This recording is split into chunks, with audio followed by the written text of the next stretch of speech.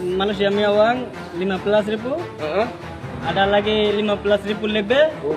Ada 20. Islam. Al-Fatihah.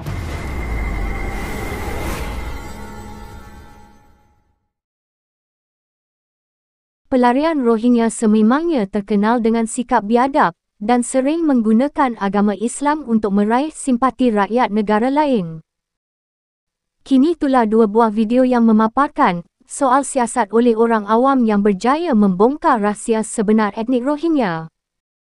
Menerusi video pertama dapat dilihat, seorang pelarian Rohingya yang baru tiba di Indonesia telah disiasat oleh penduduk di sekitar Aceh.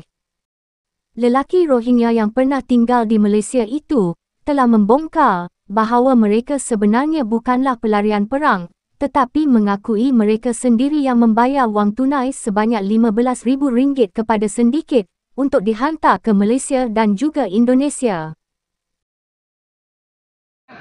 Hmm. Kita uang bayar kan? Iya, iya. mau turun Malaysia. Berapa oh. bayar? Sini ada orang lain-lain. Ada orang Malaysia punya uang 15 ribu. Uh -huh. Ada lagi 15 ribu lebih. Oh, ada 20 ini macam. Oh, ma. 15 ribu, 50 ada juta 20, lebih kurang. 20 pun ada. Nah. Lim, uh, kalau uang Indonesia, 50, 50 juta. juta. 15,000 per orang. Ya? Dalam tujuan dari Myanmar kemari ada sangkutan dengan UNHCR ataupun PBB ataupun memang untuk bekerja ke Malaysia. Oh, Malaysia semua kerja. Kerja? Ya. Okay. Ada sangkut paut dengan kerajaan. Berarti tidak ada sangkut paut dengan UNHCR. Ha? Ya. Yang kita bilang tidak ada sangkut paut dengan suaka politik. Ya. Ini macam itu aja lah. Ya, betul betul betul betul betul. Ini cuman Selepas tularnya video tersebut, kini tular sebuah lagi video memaparkan seorang lelaki yang juga dipercayai berasal daripada Rohingya sedang mengemis di tepi jalan. Pengemis tersebut mengaku kononnya beragama Islam, sebaik sahaja diminta untuk membaca surah Al-Fatihah, pengemis tersebut dengan yakin mengeluarkan bunyi yang jauh berbeza daripada bacaan yang sebenar.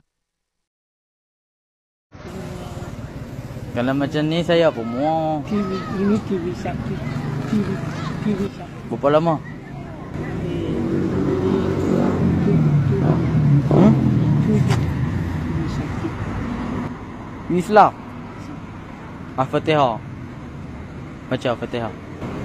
At-tayyatu lillahi was-salawatu wat-tayyibatu was-salam. Itu Al-Fatihah?